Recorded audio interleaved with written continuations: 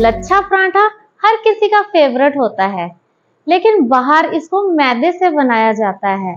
अगर हम घर पे ही इसको बनाना सीख जाए तो तो चलिए, आज हम बनाते हैं आटे से बना हुआ लच्छा पराठा।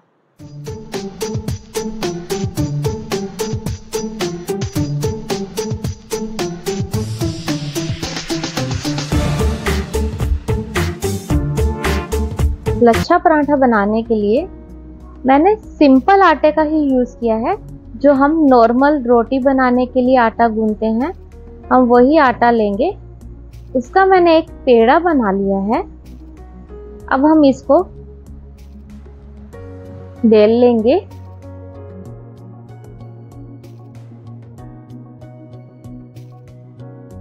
तो गाइस इसमें मैंने एक चम्मच देसी घी लगाया है। अगर आप चाहो तो इस पर ऑयल या बटर भी लगा सकते हो। अब इसमें मैंने थोड़ा सा सूखा आटा डाल दिया है। मेरे पास एक पिज़्ज़ा कटर है। तो पिज़्ज़ा कटर से मैं ऐसे स्लाइसेस कर दूँगी।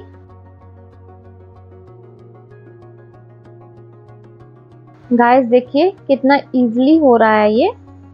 तो ऐसे ही हमने पतले पतले स्लाइसेस कर देनी है, जितनी पतली स्लाइसेस होंगी, उतने ही ज़्यादा लच्छे बन के आएँगे पराठे के। तो अब हमने इसको ऐसे हल्के हाथ से रोल कर देना है।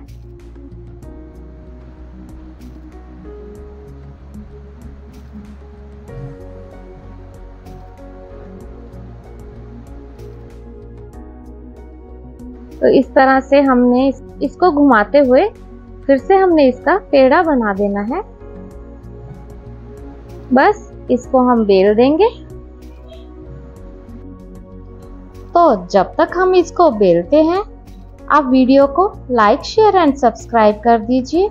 और हाँ बेल आइकन दबाना बिल्कुल मत भूलिएगा।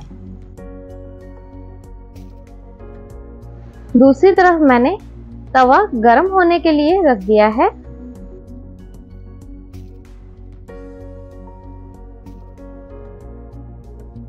अब हम गरम तवे में अपना पराठा डाल देंगे। जब ये एक साइड से हल्का सा पक जाए तो हम इसकी साइड चेंज कर देंगे और इस पे हम थोड़ा सा घी और लगा के फिर से इसको पलट देंगे।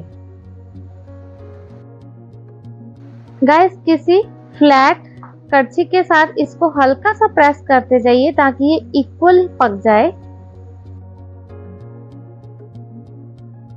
तो हम अब फ्रंट साइड पे भी घी लगा देंगे और इसको भी हम अच्छे से पका लेंगे।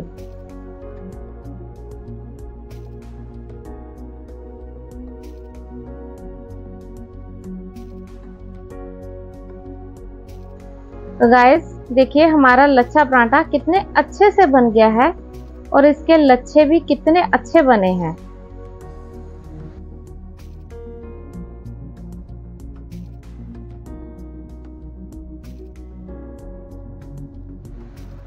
तो guys lachha paratha butter chicken के साथ, शाही पनीर के साथ बहुत ही अच्छा लगता है। तो अगर आप वेजिटेरियन हो तो पनीर, और अगर नॉन वेजिटेरियन हो तो बटर चिकन के साथ इसको खाइएगा, बहुत ही टेस्टी लगता है। और साथ में हो जाएगा लच्छा प्याज तो मज़ा ही आ जाएगा।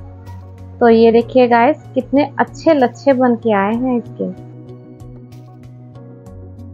खाने में बहुत ही टेस्टी है। तो अगर घर में ही गर्मा गर्म लच्छा पराठा मिल जाए तो हमें बाहर जाने की क्या ज़रूरत है? तो इसको ज़रूर ट्राई कीजिएगा। Let's test